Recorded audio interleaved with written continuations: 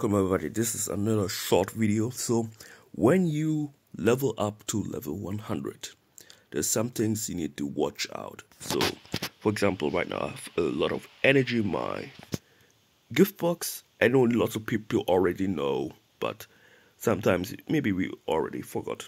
When we level up, the energy and the arena wings fill up to the uh, like to the cap we have like 260 uh, 276 and 10 wings. So when you level up to the next level make sure your arena wings are zero and do not overfill your energy like you have like 500 plus energy and you go into the next level. That's a waste. You could have have 200 plus free energy. So make sure that your energy is below your cap so you get additional energy. That's it with the video. Thanks for watching and bye.